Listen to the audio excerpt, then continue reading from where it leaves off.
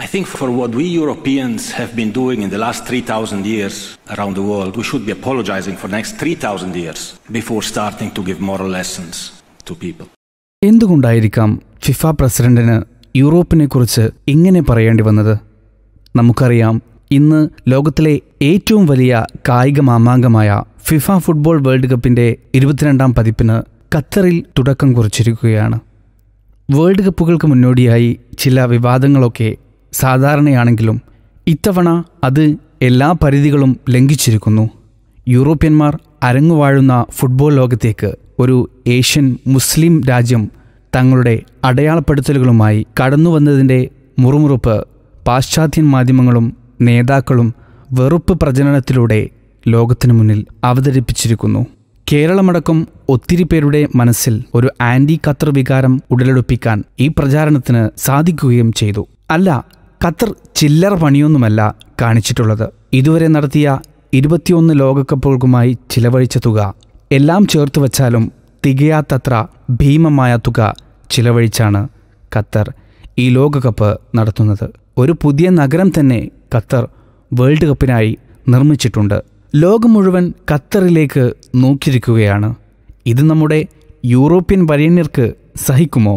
തങ്ങൾ പറയുന്നത് ലോകം മുഴുവൻ അനുസരിക്കുക എന്നതാണല്ലോ യൂറോപ്യന്മാരുടെ സഹിഷ്ണുത. അല്ലാതെ മറ്റുള്ളവരെ ഉൾക്കൊള്ളുക എന്നത് അവനു ബാധകമല്ല. ഈ ഇരട്ടത്താപ്പ് എല്ലാ സീമകളും ലംഘിച്ചപ്പോഴാണ് ഫിഫ പ്രസിഡന്റിന് തന്നെ യൂറോപ്യർ ഈ ഇരട്ടത്താപ്പ് നിർത്തണം ഒരു ദിശയിൽ മാത്രമുള്ള ഈ ധാർമ്മികതാ പ്രസംഗം അവസാനിപ്പിക്കണം എന്ന് നേരിട്ട് പറയേണ്ടി വന്നത്. I think if four three hours a day you you not drink a beer, you will survive, especially because actually the same rules apply in France or in Spain or in Portugal or in Scotland, where no beer is allowed in stadiums. Now, here it seems to become a big thing because it's a Muslim country, or I don't know why.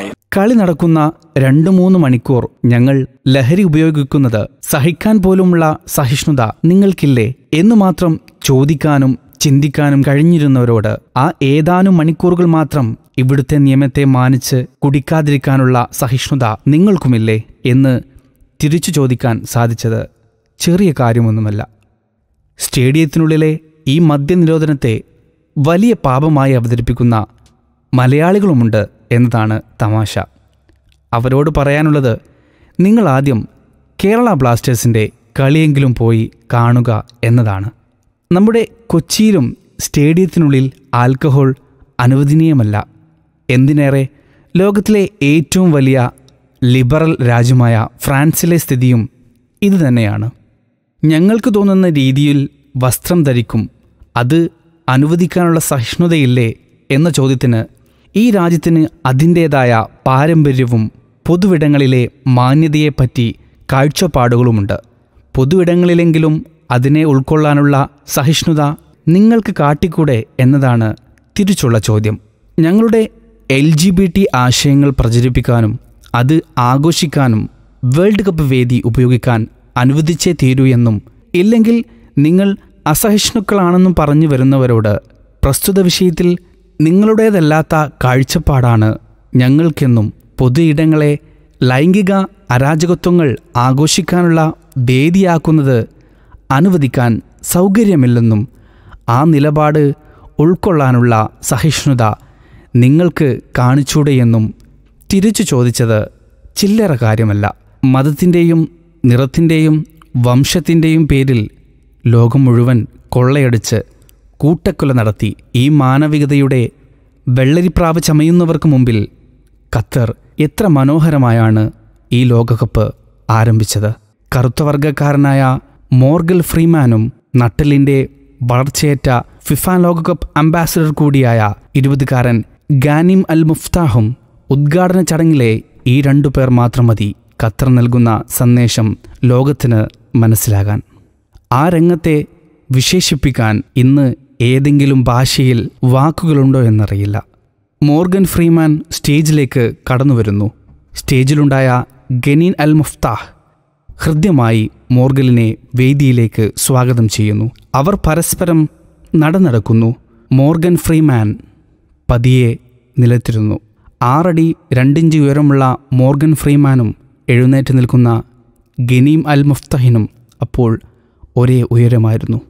Morgan Freeman ചോദിച്ചു ഒരു വഴി മാത്രം അംഗീകരിച്ചാൽ എങ്ങനെയാണ് ഈ ലോകത്തിലെ എല്ലാ രാജ്യങ്ങളും ഭാഷകളും സംസ്കാരങ്ങളും ഒന്നിക്കുന്നത്? ഗനിൻ അൽ മുഫ്താഹ് മറുപടിയായി വിശുദ്ധ ഖുർആൻ പാരായണം ചെയ്തു.